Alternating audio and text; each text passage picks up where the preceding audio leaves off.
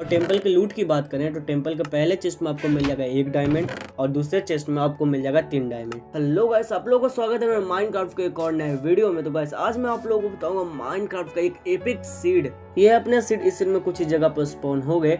यहाँ से जब इस डायरेक्शन में देखोगे तो मिल जाएगा आपको एक विलेज यहाँ से सीधे जाते जाना तो मिल जाएगा एक और विलेज और इसके बगल में ही देखोगे तो मिल जाएगा एक टेंपल और टेंपल की लूट की बात करें तो यहाँ पर डिसेंट लूट मिल जाएगा और इसके साइड में देखोगे तो टेराकोटा बायोम भी है।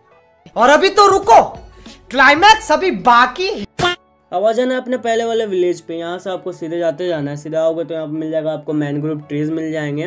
और यहाँ से थोड़ा सा और आगे आके इस कोऑर्डिनेट पे डिग डाउन करोगे तो यहाँ पे मिलने वाला है आपको एक टेंपल और इस टेंपल में आपको चार से पाँच गोल्डन एप्पल मिल जाएँगे। और टेंपल से बाहर निकलने के बाद इस डायरेक्शन में थोड़ा सा और आगे आना तो मिल जाएगा आपको बड़े रूइन पोर्टल जो कि कुछ ऐसा दिखता है।